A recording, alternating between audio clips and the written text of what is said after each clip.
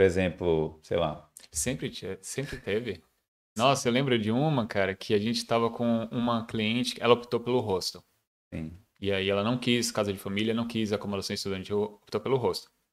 E ela foi para o hostel. No dia seguinte, olha, ela chegou num, num dia, no dia 2, ou seja, no dia seguinte, a gente recebeu uma ligação da mãe perguntando se a gente poderia ajudá-la lá no rosto, que ela estava tendo problemas.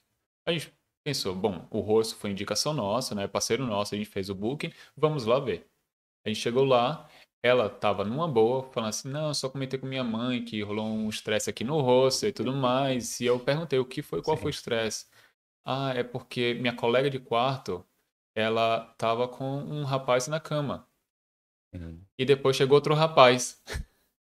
Chegou o terceiro rapaz. Isso. Aí Sim. eu saí do quarto.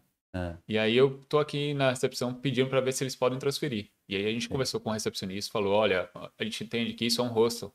Não dá para controlar as pessoas, mas, mas pô, aí já é ela tá também. insatisfeita com o quarto. Não é com o rosto, não é com o serviço prestado, mas é, são, são com as pessoas, não falei exatamente com quem, as pessoas do quarto. Hum. Alguém lá tava fazendo, tava tendo sexo num quarto de hostel. Sim o que para, eu acho que para os recepcionistas não é nada surpresa, né? Em hostel. Caramba. E aí a, a gente pediu para mudar. Aí a gente ligou para a mãe e falou: olha, a gente está aqui no hostel e a gente está mudando a hora de quarto. Deu tudo certo. É, é, quando você começou a história, eu achei que era um pouco de super proteção da mãe, mas eu, eu acho que ela tinha até razão.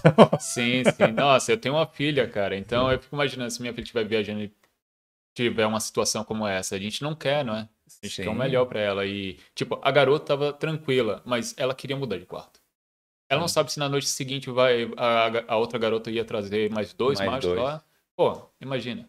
De dois em dois, né? Por que não pega um quarto privado, né? Pois é, né? Pô, não é difícil, né? Exatamente. Será que era muita falta de grana, sei lá, de... Sei lá, o hostel é o que? 10, 12... Não, aqui na Irlanda é mais, tá caro. mais caro. 15, 20 euros a noite, né? No quarto. Isso.